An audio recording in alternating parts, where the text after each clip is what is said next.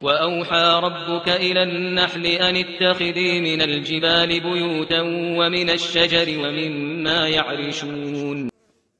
بسم الله الرحمن الرحيم. والصلاة والسلام على سيدنا محمد وعلى آله وأصحابه أجمعين. السلام عليكم ورحمة الله تعالى وبركاته. لقد وضعت لكم فيديو من قبل عن سبب موت النحل. عن سبب وجود نحل ميت على أرضية المنحل تحت الخلية وبجانب الخلية إلى غير ذلك. ربما قد شاهدتم الفيديو الذي وضعت لكم عن سبب موت النحل في هذا الوقت وسأتركه لكم في الوصف إخواني الكرام.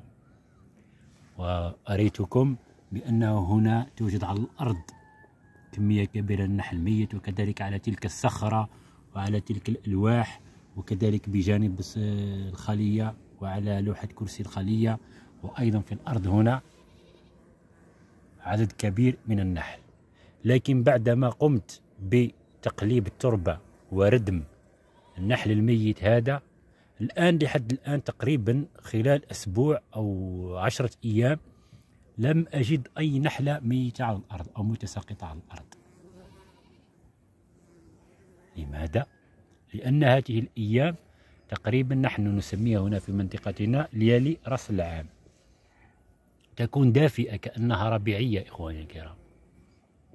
يعني الجو دافئ حتى أن أرضية الخلية تكون جافة كما تشاهدون ليس فيها رطوبة والجو يكون دافئ.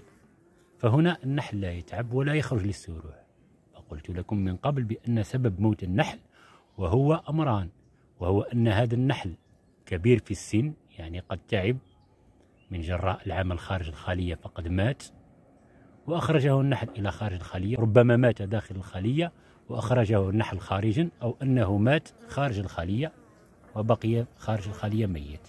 وهناك أمر آخر وهو أن هذا النحل آه، لم يرجع إلى الخلية في وقته يعني قضى الليل بأكمله خارج الخلية.